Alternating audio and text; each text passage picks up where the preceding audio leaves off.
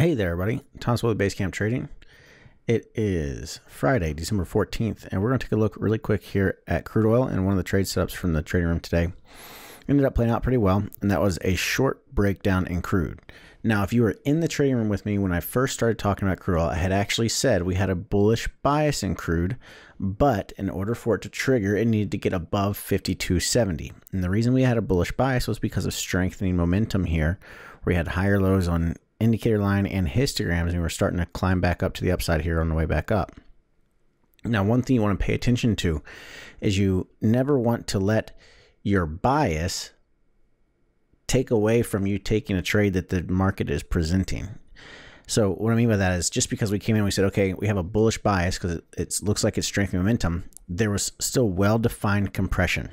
Okay, and the well-defined compression was we had a double top up there at 52.70, and we had a double bottom down at 52.11.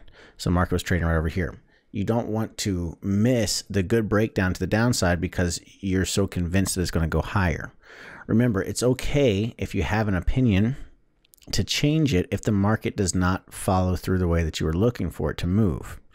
Also, this is why what we'll do is we'll look at a setup and we'll say, all right, in order for this setup to trigger, so in order for us to actually take action on this idea, it needs to go through a certain point. We always want to make sure the market proves to us that it's going to move our direction. So for example, we were looking at a bullish bias, but in order for it to trigger, it needed to break through that 5270 resistance to trigger an actual trade.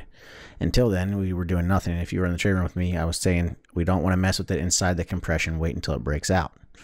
Uh, ended up breaking to the downside, so you had short signals and followed through very nicely uh, from that 52 down to 51, so about $1,000, $1,100 a contract. So my point here, though, is the underlying theme is make sure it's it's okay to have a bias and it's okay to have an opinion, but don't let that opinion cloud what the market is telling you. All right, and then also once you have a setup, once you once you have that bias, make sure that you make the market prove to you that it's going to go your direction. Don't just say, okay, it's looking bullish, so I'm just going to blindly buy it. Say, okay, it's looking bullish, so I'm going to wait until it triggers the entry, which was would be the break through the resistance, and then I'll go long. So it has to prove to me that it is going to go up, that I am correct. All right, so that's it for today. I'll see you all in the trading room bright and early on Monday morning. Have a great weekend, everyone. Don't forget to like and subscribe if you're enjoying these videos. And until next time, everybody, happy trading.